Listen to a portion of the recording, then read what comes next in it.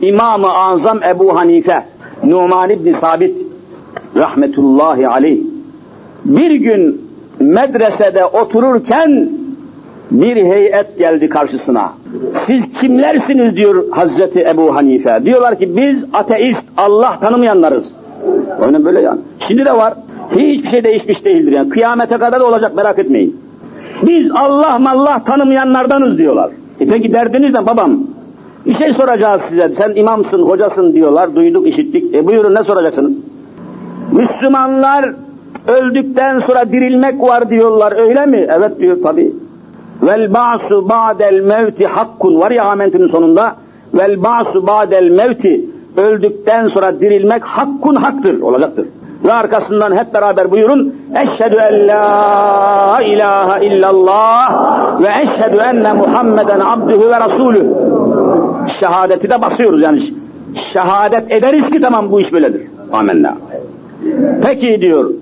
Dirildikten sonra hesap gününde herkes hayatın hesabını verecek diyorsunuz öyle mi? Amenna diyor.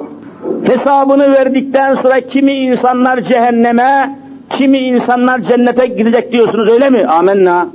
Ve naru hakkun vel cennetu hakkun ve sıratu hakkun var tam.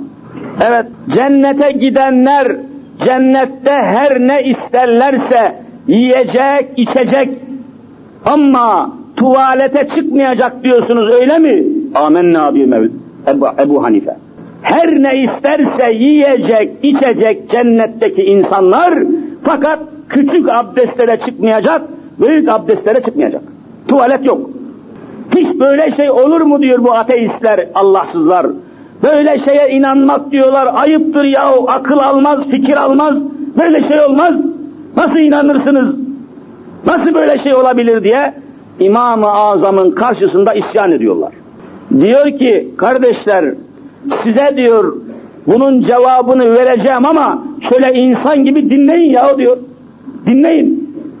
Onları sükunete davet ediyor ve anlatıyor. Diyor ki bunun cevabını daha ahirete gitmeden dünyadayken versem kabul eder misiniz? Adamlar hayda diyorlar ya gülünçlük üstüne gülünçlük. Hiç dünyada böyle şey olur mu? Ve devam ediyor. Diyor ki siz dünyaya gelmeden evvel neredeydiniz? Diyorlar ki anamızın karnındaydık. Ha şöyle keratalar. Nerede olacaksınız başka zaten? İlahi nizam böyle.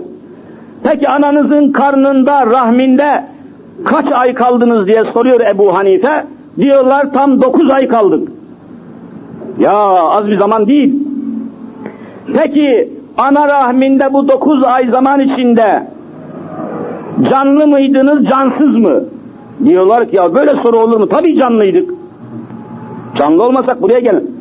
Peki canlı kalmak için yiyip içmek şart mıdır değil midir diyor Ebu Hanife. Şarttır diyorlar. Ha demek siz ana rahminde yemiş içmişsiniz öyle mi? Evet evet diyorlar. Peki tuvaletiniz nereye çıkıyordunuz diye soruyor. Adamlar hiç düşünmemişler. Bak düşünmenin önemini ayet bunu anlatıyor yani. Ula hakikaten doğru diyorlar ya tuvalet ana rahminde tuvalet olmaz. Bire diyorlar, bire, bire hayvan kardeşler diyor. Bak ana rahminde bile tuvalet olmayan bir yer Allah yaratmış. Cennette niye tuvalet olsun? Niye mümkün olmasın bu hadise? Hemen Ebu Hanife'nin önünde kelime-i şehadet getirip iman ediyorlar. Demek ki Müslümanlar dinsiz adamın evvela beyni işlememiştir. Nerede ateist, nerede bir dinsiz görürseniz bilin ki o adamın beyni durmuş, düşüncesi ölmüştür, tefekkür hayatı felç olmuştur. Beyin namına onlarda organ yoktur. Lehum kulubun kalpleri vardır, beyinleri vardır, la yefkahune biha. Onunla hakikati araştırmazlar. Bakın ayet söylüyor, ben söylemiyorum. Ayet-i ilahiye söylüyor bunlara yani. Düşünmedikçe kimse hakkı ve hakikati bulamaz. Düşünmedikçe. Düşüneceksiniz. Demek ki Allahu Teala insanlara akıl nimetini, akıl nimetini ve düşünme kabiliyetini asla boşa vermiş olamaz.